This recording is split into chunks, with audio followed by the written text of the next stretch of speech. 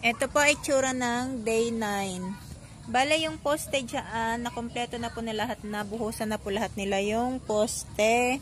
So yung day 9, ito na po yung nagawa nila. Naglalagay na po sila ng ganito, hindi ko alam kung ano yan. Kasi mag-i-slab na sila sa susunod. Ayan, may mga naglalagay ng bakal dyan sa mga gilid. Yan pa lang yung nagawa nila.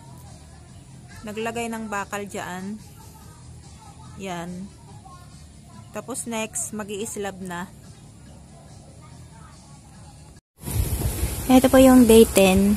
Bale, na mag-assemble na sila ng ano, magbubuhos na sila ng slab. Bale, gumawa sila dyan sa may flooring ng mga ganyan, bakal-bakal. Ay, hindi ko alam kung ano yan.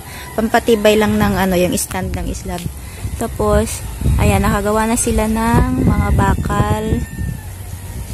Bakal, ayan. Nagawa na nila ng bakal. Side, side by side. Ayan, yung mga bakal na-assemble na nila dyan sa taas. Ayan. And then, assemble na lahat. Ayan. So, ay ito yung ginawa nila ng day 10. Naglagay ng mga ganyan. So, grabe, napakadaming kahoy ang nagamit dito, guys. Ayan. Ayan yung mga bakal. Nagawa na nila yan. Yan. So, napalibutan na siya. Yung bakal. Yan. Ikot na siya, kompleto na siya.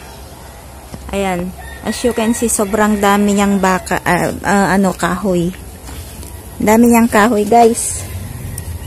Ito yung maksaya dun dito sa may nag-iislab.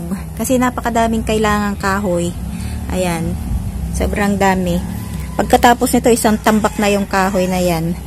So, ayan for day 10, accomplishment. Ayan. Pero dito, remain pa rin. Hindi pa rin nagagawa. Ayan, may mga uh, kahoy pa dyan. So, yan na yung itsura. Ayan yung ang date.